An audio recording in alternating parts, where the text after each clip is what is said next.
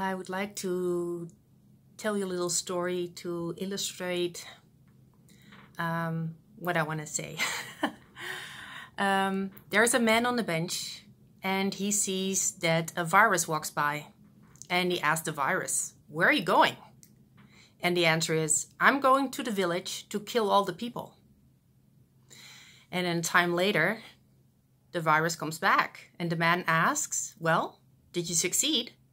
And the virus said, I killed half of the people. Fear will do the rest.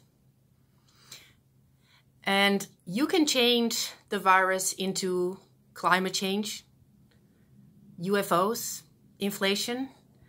If you can instill fear into people, they will be more compliant, more obedient. And this is exactly what they're trying to do with the truckers. They are trying to block their bank accounts. They're threatening them to take away their children or their pets. And you have to stay strong.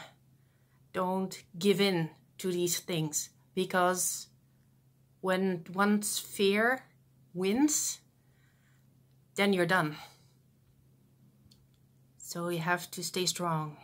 That's what I wish for everybody. Have a nice evening.